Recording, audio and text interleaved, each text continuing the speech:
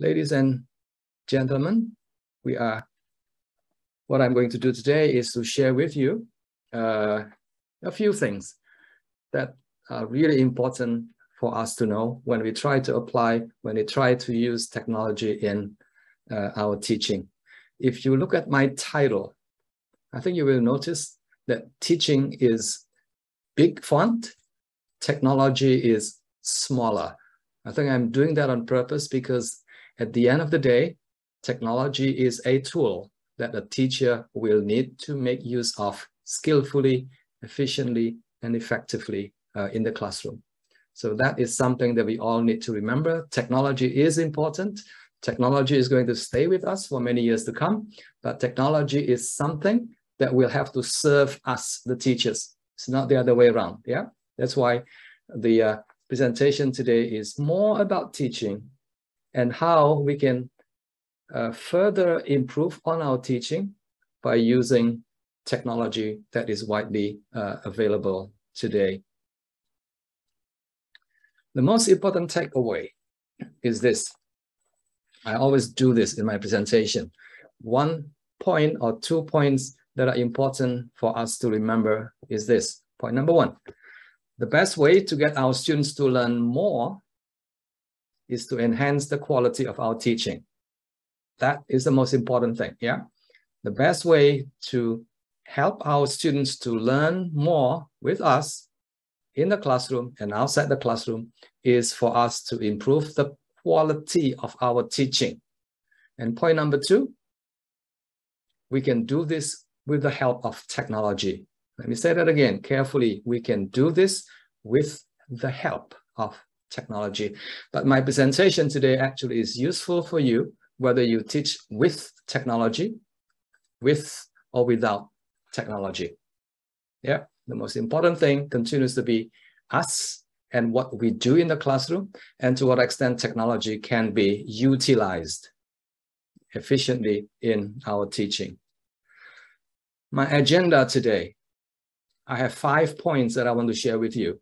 The first one very, very basic, very, very important technology and the teacher, us, the user, the utilizer, the person who is using technology. Number two, the link relationship between technology and teaching methodology. So that's the second point that is very important.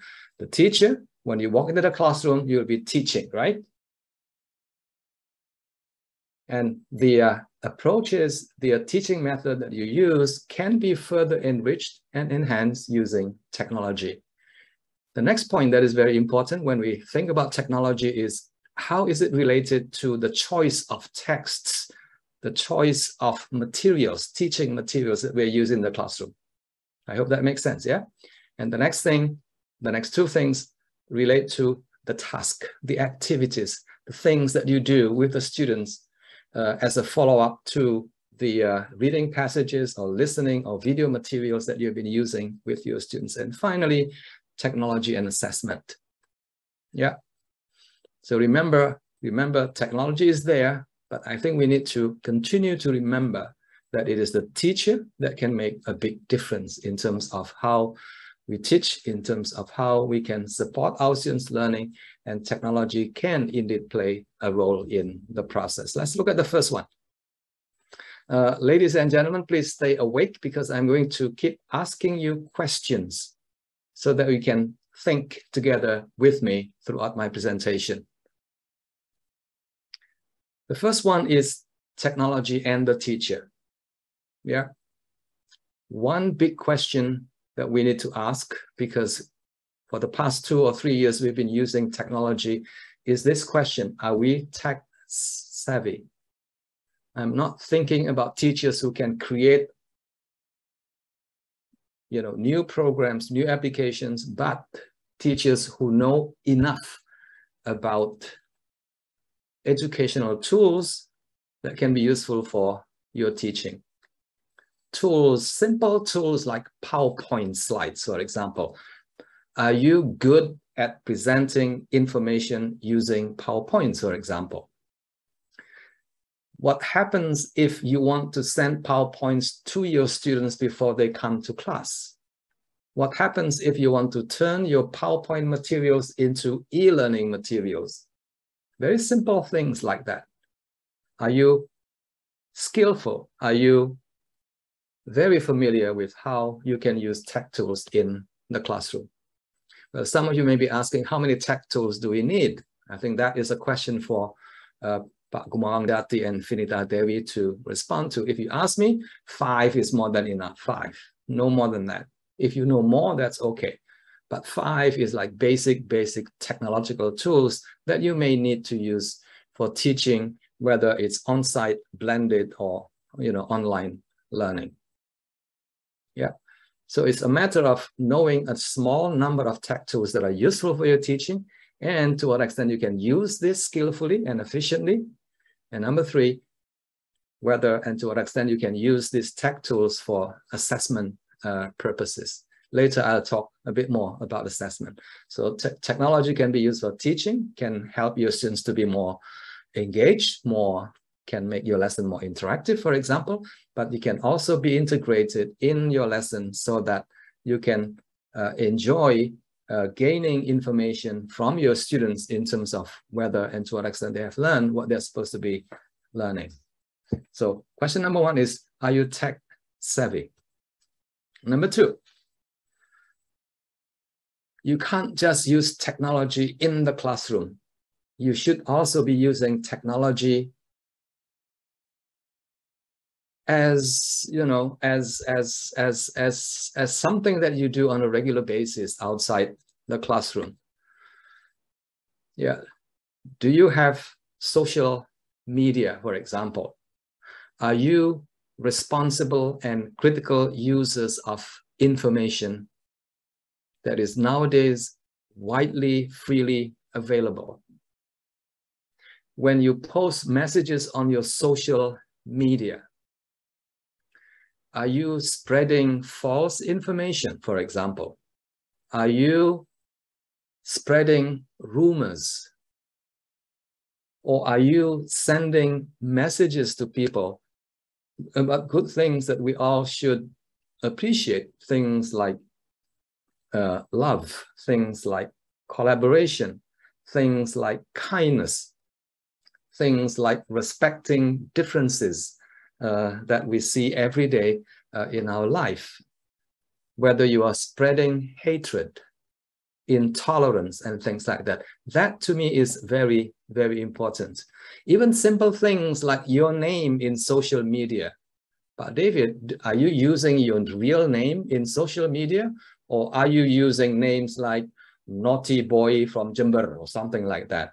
I mean, that tells you because, because when you use social media, you are also projecting your identity as a responsible citizen and also as a professional teacher. So be very careful what you say and what you read from the internet. Are you using uh, the internet or social media for professional purposes?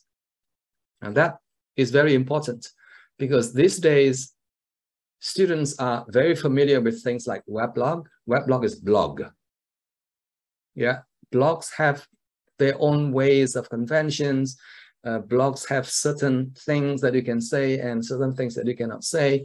And, and these are things that is part of your, uh, you know, learning, if you like. Uh, do you know how to create uh, YouTube videos, for example? Do you know how to edit uh, YouTube videos for good purposes? Yeah. So digital users is an important part of your life as, as a person and also as a teacher. But more importantly, you want to show your students that you are an active user, you are a responsible user, and you are a critical user of the uh, digital technology. And the last bit is about this. And these days, we can get a lot of information. We can learn a lot by becoming a digital learner because information is now available. You don't have to go to school, actually. You don't have to go to universities. You don't have to attend workshops, but you can do things on your own. Yeah, you can further develop your multimodal skills, your transmedia literacy skills, and many other skills. You simply have to learn how to do it because the world is moving in that direction. Yeah, in terms of professional development, uh, you can make use of the internet, the information that is available on websites to further develop your professionalism.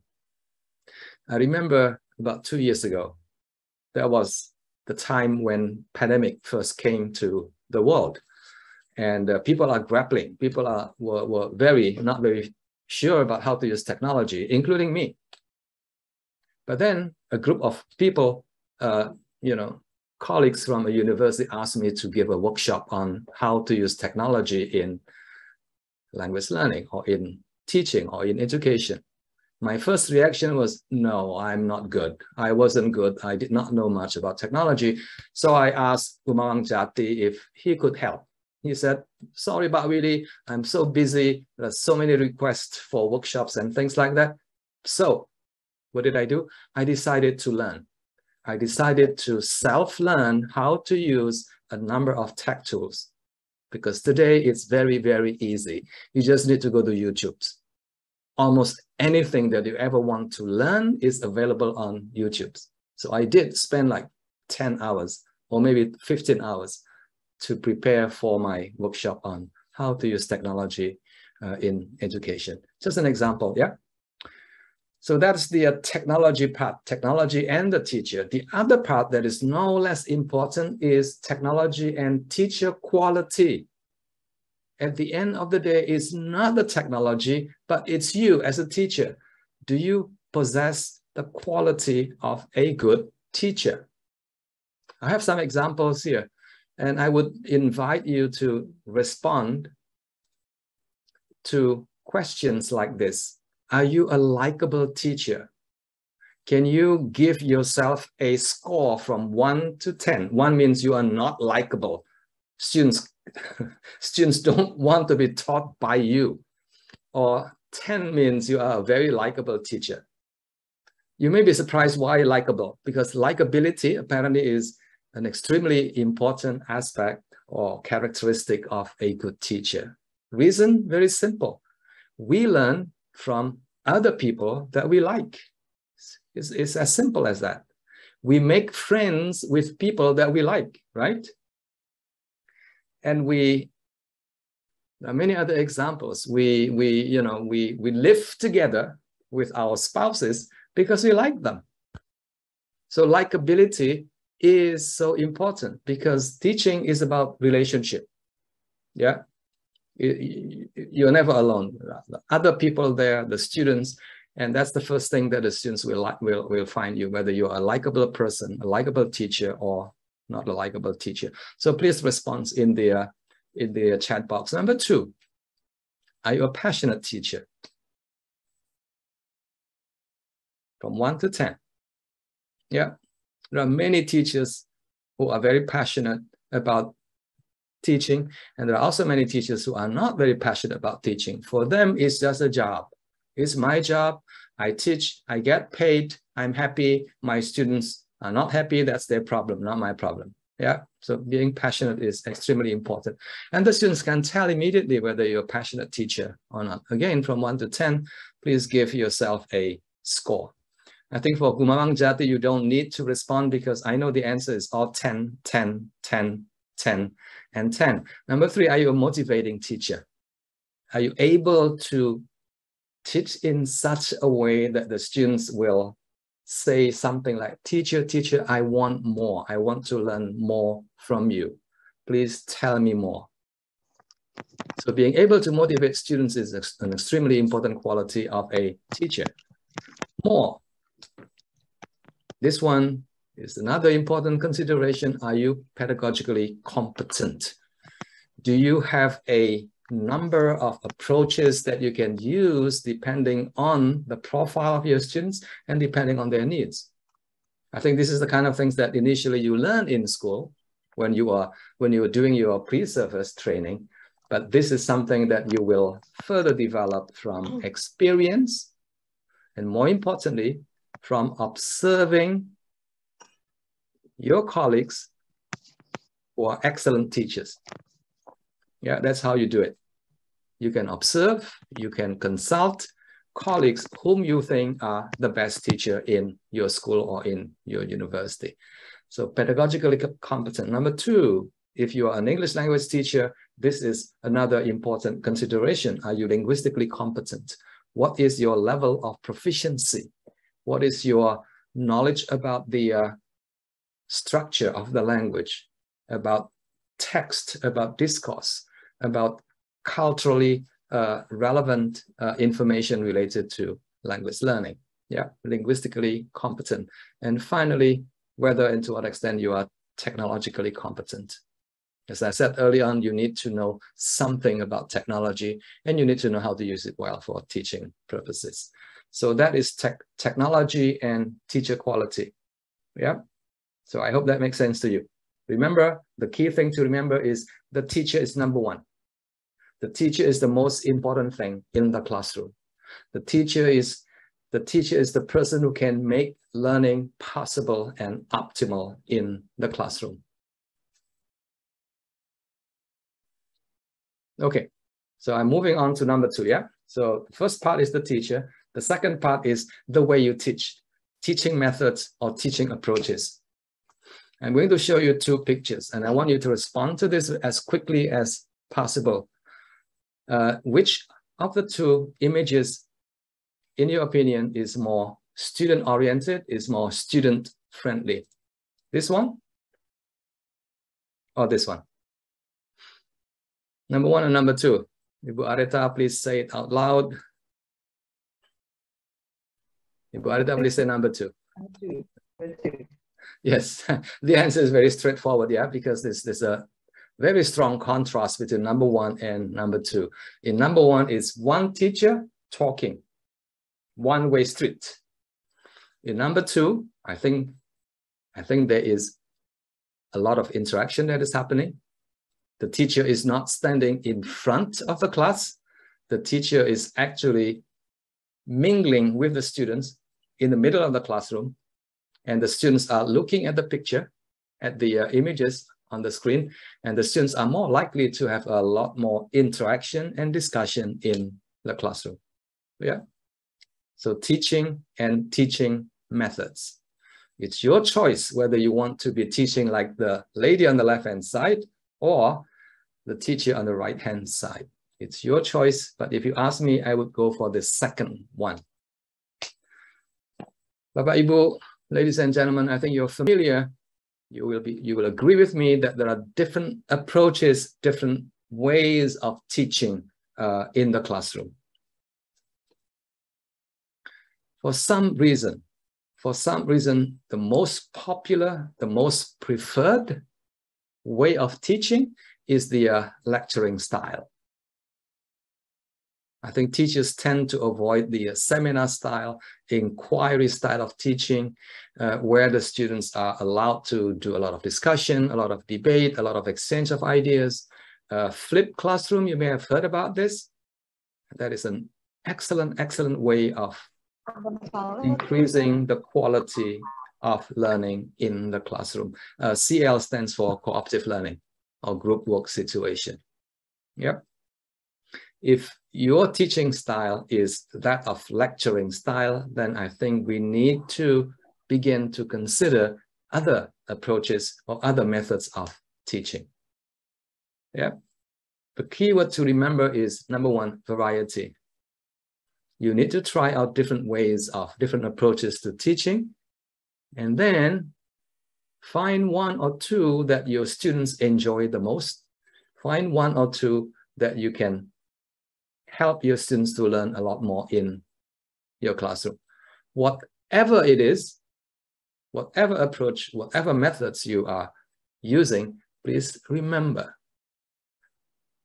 your job as a teacher, your job as a language teacher in particular, is not to spend one whole hour talking, explaining things in the classroom. I think we should reduce the amount of talk. Yeah, if you don't reduce the amount of talk, then you are depriving your students of the opportunity to learn with you, with their peers, and with the help of technology. Yeah, teach less. That means 10 minutes, maybe 15 minutes, and the rest of the time should be given to the students to explore you know ideas to to to to find out for themselves uh, what needs to be learned from the internet for example yeah that is one way of uh, making the students or helping the students to learn more so if you ask me this question is kuliah ceramah okay or not okay my answer is yes it is okay but i think all of you remember this yeah I'm sure all of you know this. Tell me and I'll forget. If you lecture, the students listen, they understand, and then they forget. Show me and I may remember. Demonstrate. Involve me and I'll understand and I learn more.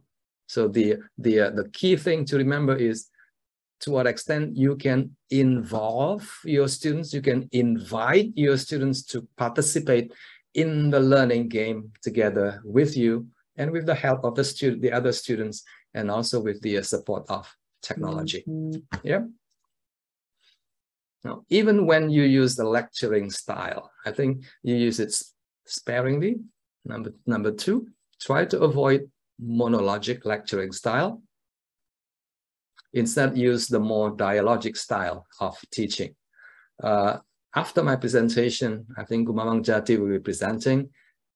Observe the way he is presenting. I think he is using what is known as dialogic style of presenting, dialogic style of teaching, if you like. And the last point to remember, bite size, small, small, small, small, small. Do not spend one whole hour teaching or explaining things, but break it up into small size, bite size chunks that the students can digest, that the students can learn from you. So that's point number two, yeah? Point number three, I hope you remember the first one is technology and the teacher. Number two is technology and their teaching methodology. Number three is technology and the text. Remember, technology now or the internet now is a wonderful, amazing, amazing source of teaching materials. Text here stands for teaching materials. Teaching materials can be texts from websites, and from other sources on the internet. Teaching materials or text here can be video materials or podcast materials or any other kind of materials. Even posters can be uh, seen as, as an example of text teaching materials that you're using. Yeah. The most important thing, Baba Ibu, to remember is this. I think you know this, and you will agree with this that the text that you use, the teaching materials that you use will have to be very, very interesting. Not so much for you, but for your students. And that requires a lot of skill, a lot of experience from the teachers to choose just the right kind of teaching materials. Yeah, because that is the starting point for learning to happen. If the text is not interesting, the students will likely to switch off. Switch off means they will not be paying attention. And when that happens, they will not be learning uh, very much from you. I think we are reminded of the importance of teaching materials that are number one, very, very interesting. It's so compelling that the students want to find out more about it. The students get very excited. The students are willing to spend half an hour, maybe one hour in class, and maybe another hour outside the classroom. So that is because the materials are interesting. Yeah, it it it you know it ignites their curiosity. Hey, teacher, the text is so interesting. I want to know more about this. Can you tell me where I can find more information about the uh, topic that we are discussing today? But point number two is comprehensible. If you're a language teacher, you have to make sure that the content is interesting, but also the language is accessible. The language is easy to understand. If the language is difficult to understand, the students will just learn the content a little bit, but they will not be able to learn from the language aspect of the text. I hope that makes sense, yeah? So in other words, the content and the, and the uh, and the uh, uh, difficulty level of the text will have to be just right. Not too easy, not too hard, but really, really exciting for the students to learn, yeah? So let me say this again, contents are king. Contents are probably the most important thing that you can start to get your students to be interested and excited about the uh, uh, learning that happens in the classroom. So content, content, content. Where do we get information? Where do we get interesting content, uh, teaching, learning materials? One source is TED. Just a lot of information, a lot of contents that will get your students to be interested in learning. Yeah, here's just some example. If you are teaching ESP students, engineering students, for example, or science students, this might be of interest. Here is another one. Civil engineering students might find this really, really interesting. Business. These are just examples from TED, uh, TED. There's a lot of information there. Here is something about psychology. Another one about psychology as well. The point here is that technology, the internet, the digital world is there for you to use to is there for you to bring into the classroom so that the students get to enjoy much more interesting contents from your lesson.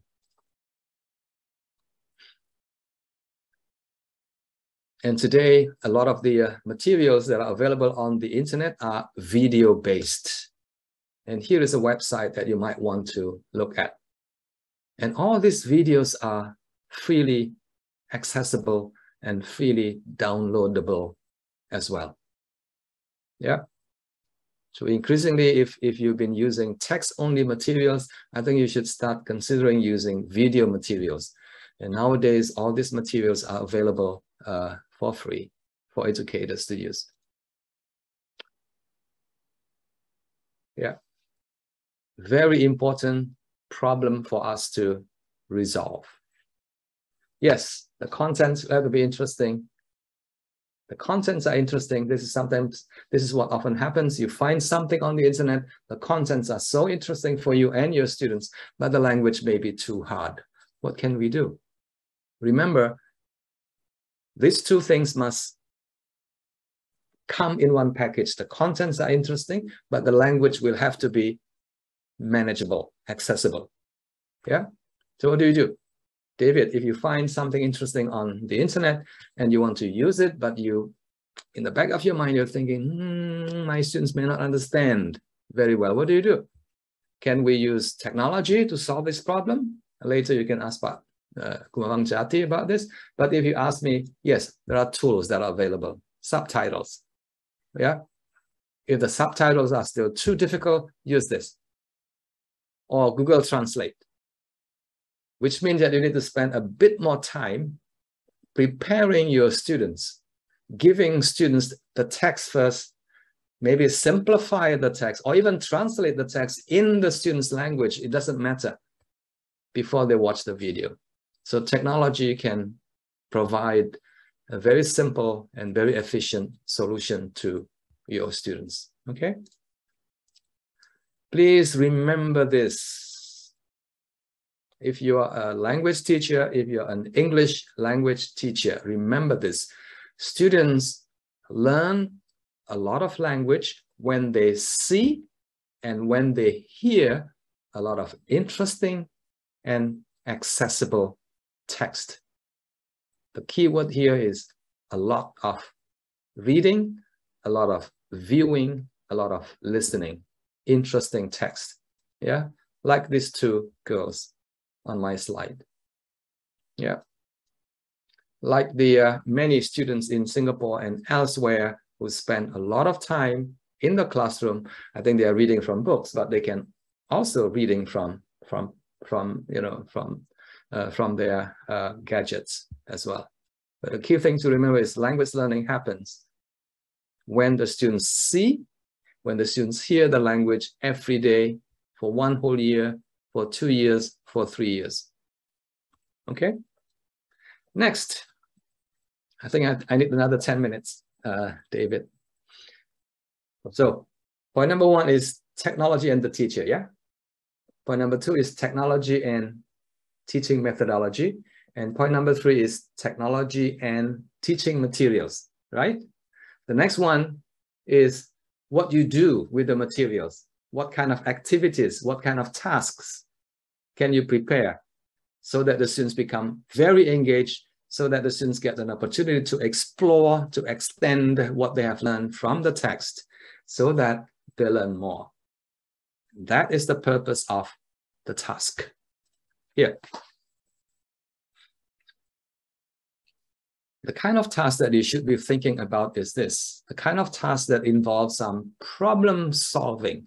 There are some problems because problems are interesting. Problems make us think. Problems make us feel perplexed. Problems make your students become curious. They want to find out the solution to the problem. Yeah. So if you are able to find problem solving tasks for your students to work on, I think chances are higher that your students will become more motivated, they be, they'll become more self-determined. They want to learn, not because they have to, but they want to. Yeah. Now, the kind of problem solving tasks that can encourage your students to read more and to learn more. I think that will be ideal. And the internet is a great source for that in my teaching these days, I always give the students my, a task and I ask them to explore the information from the internet to find out more about the problem and to find potential solution to the problem. Remember, the task must engage students in further exploration, elaboration by giving illustrations, examples, and so on and so forth, and the task should also provide opportunities for the students to self-evaluate. Have I learned? Is there anything that I haven't learned? Can I check with my uh, classmates? Can I check with my teacher? So self-assessment is going on all the time. Yeah. Here is an example from my class.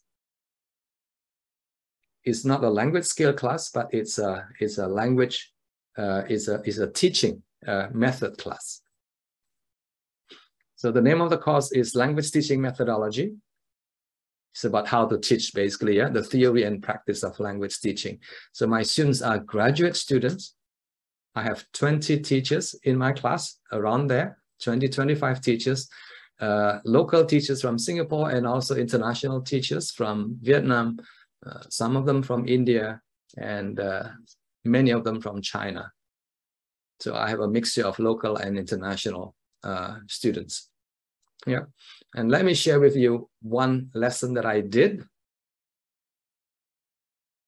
And I share with you how I integrate uh, many of the things that I discussed early on with you about the importance of me speaking less, for example, about the importance of using texts and task that will help the students to explore, extend, and deepen their understanding. The design of my lesson is this. There is a before learning that happened, the during learning that happens in the classroom, and the after learning that happens after the lesson is over. The starting point is this, the learning outcome. Yeah, the learning outcome is this. I told my students that we'll be discussing the theory, the research on how to teach vocabulary and why vocabulary is important and what research tells us about the uh, place, the role of vocabulary in language learning, right? And the learning outcome or the task that I want them to work together with me is this. At the end of the lesson, the students will put together a set of principles for teaching vocabulary. Yeah, so that's the final job, the task or the problem that the students will have to work with. Before the class, like one week before, I sent them something using a simple application called Wakelet. So this is where the students get information about the teaching of vocabulary. And this is also an opportunity for the students to start thinking, reading, comprehending and discussing and interacting using this uh, application called Wakelet. Yeah, Wakelet is very easy to use. Look at it later. And then during the lesson, a short lecture from me. Again, very brief, not more than half an hour. And there's a lot of discussion and debate in the classroom. And then after, after I use a very simple application like Google Document for this uh, Google Doc for the students to interact, to continue working on the topic further. So that is more or less the design of the lesson.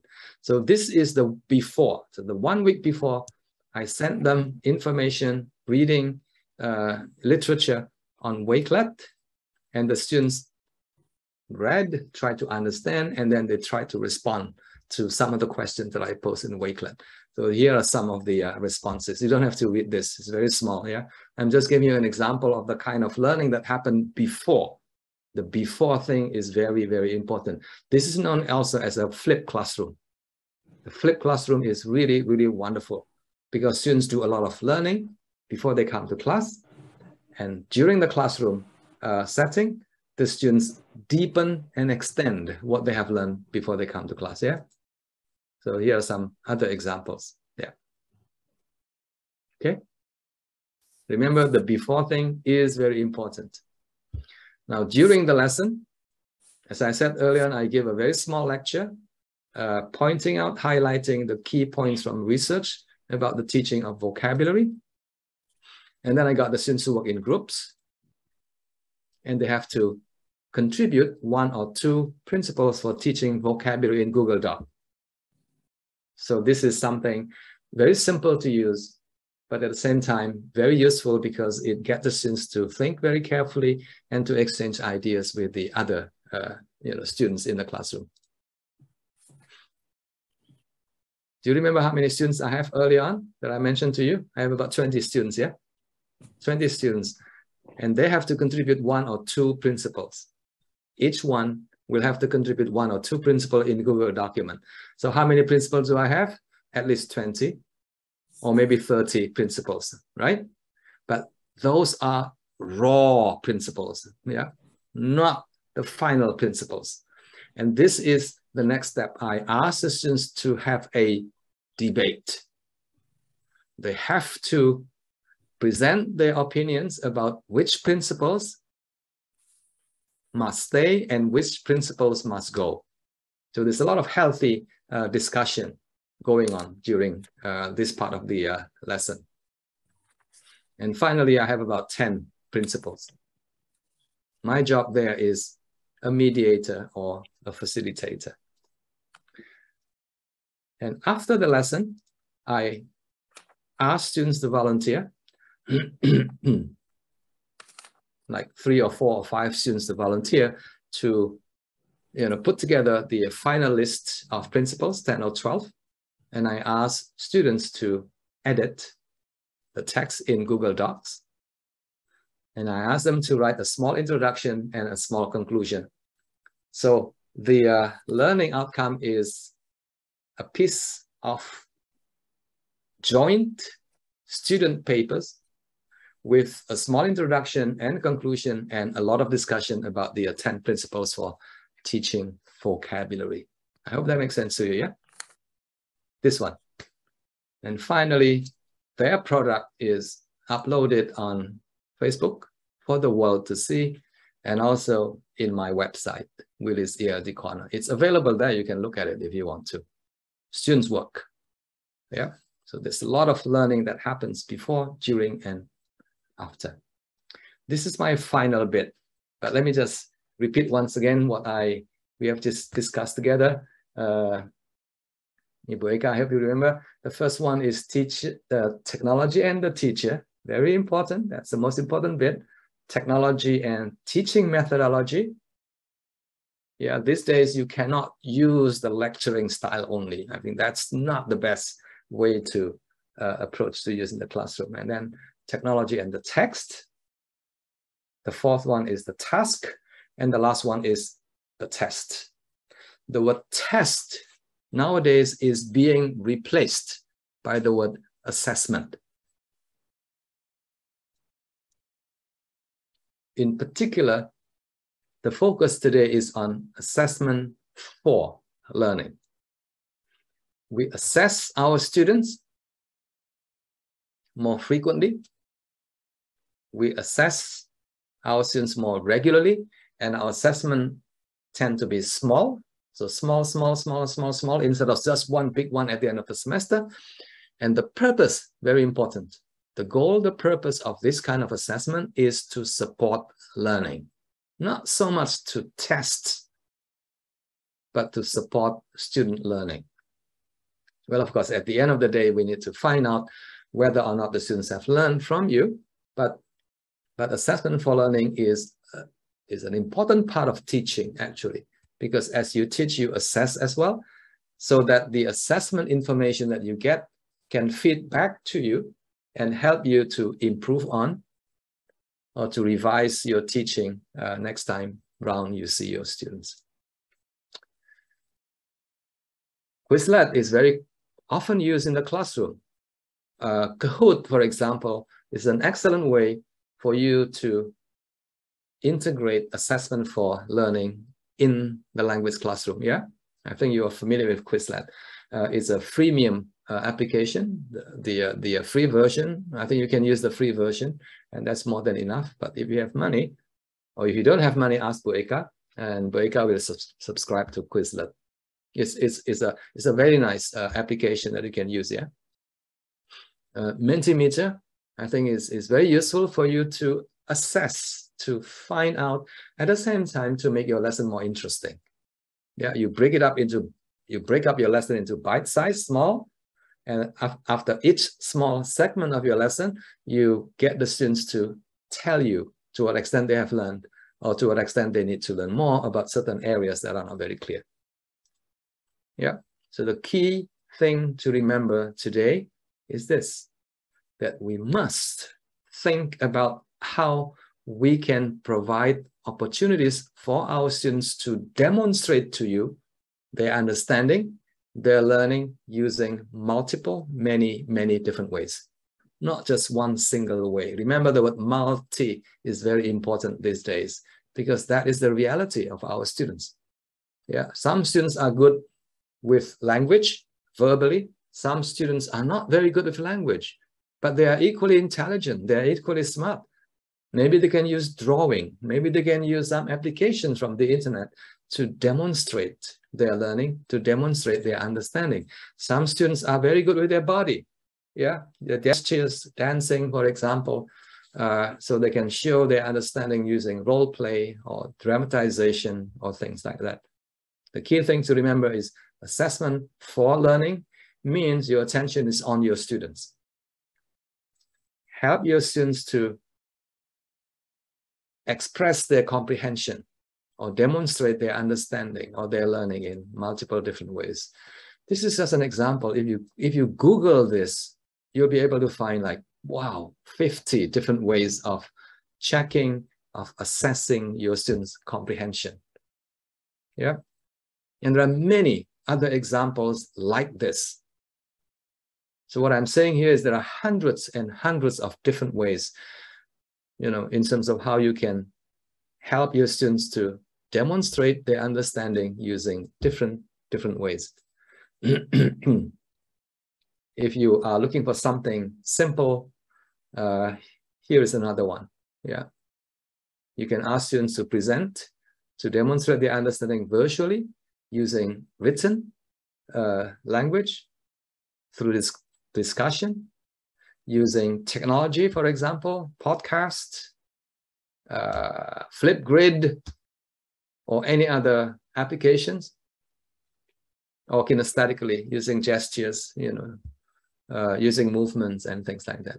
The key thing is there are many, many different ways we can engage our students in uh, learning and also in demonstrating their learning using multiple different ways. Remember this, ladies and gentlemen? Yeah technology is there to stay with us for many, for many, many uh, years to come. But the key thing is for us to focus more on the pedagogical aspect, on what we have known or what we have learned from many, many years of teaching. Yeah, if you add technology to that, I think you can just make your lesson more interesting and more useful for your students. But technology itself is not the most important thing where learning is concerned. It's how we use technology uh, that is important, yeah? So technology plus pedagogy, and that is a very happy marriage made in heaven. Slide terakhir Bapak Ibu sekalian. This is my final slide. Remember this. The best way to get our students to learn more is to increase the quality of our teaching. The quality of our teaching. And we can do that with the help of technology. Thank you very much, Pak David. Thank you very much for ladies and gentlemen. I'm going to make my slides available. Uh, we'll send this to you uh, in the chat box very soon.